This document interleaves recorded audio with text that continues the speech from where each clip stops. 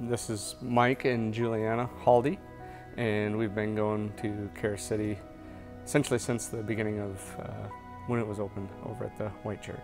We moved to Houston not knowing anybody except for a couple people that were, you know, family. But outside of that, we didn't have anybody other than, you know, my work uh, colleagues. But you know, moving into some place that's very intimidating and obviously stepping into a place where, you know, you start to develop relationships at church and then go into small groups and be able to, you know, see that flourish and develop the relationships that really, you know, kind of fill that spot in your life, I guess, you know, is, is what's encouraging for us.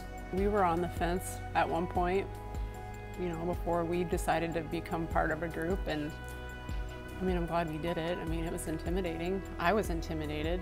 I don't know. Do this. Trying to like get to know people and watching all of our kids. It was a typical small group and people were going through different stages of their life with kids or without kids or you know young couples. So you know, and some were in different stages from uh, um, perspective with where they're at with their walk with Christ. And so it was just a lot of different perspective. A lot of people were much more scholarly or biblical than others and much more read. But, but I think kind of what made it special to us was that there was a quick connection with kids and wives and, and um, you know, really that drew the families together that, that really clicked. And out of that, I would say we had, you know, two or three families that we really connected with. And, and you know, from that point, it, it wasn't just a small group. It was, you know, we were doing life. We were, it was not just one day a week where you're meeting, going through whatever the study was. It was, you know, we're talking about other things. We're meeting for coffee. The guys are meeting for coffee on Friday mornings.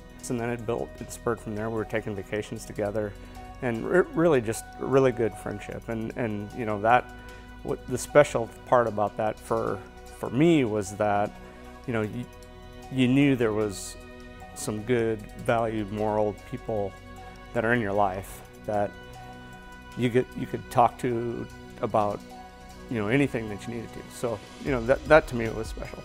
Yeah, we quickly went from just like basically like another Sunday morning on Wednesday night to really like doing life with these people and really essentially they became our family and yeah, just the level of trust and accountability that you get from a group like that when you really just are real with them, it's just, yeah, you just have that group that you can just lean on. I think just the openness and everybody's there for for a good reason. I mean, people want to be involved with that um, to grow themselves, I think, more than, and to connect.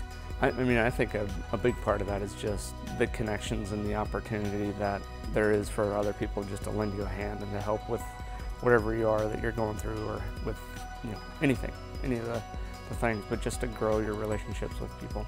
It can't hurt. I mean, it can't hurt. We were with each other through the good, the bad, and ugly. You know, we were there for a family that was going through some really hard stuff, and they were there when, you know, we had some stuff, and they're just there. But then we also celebrate the good things. I mean, it's just, yeah. When you're just really real with people, it's just, and really have the time, and I mean, it takes effort, but I mean, when you put in the effort just to get to know people, it's just, it's a really good thing.